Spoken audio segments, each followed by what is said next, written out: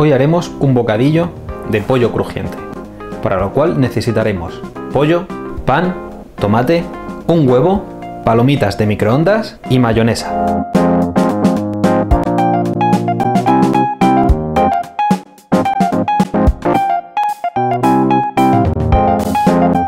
¿Que para qué queremos las palomitas?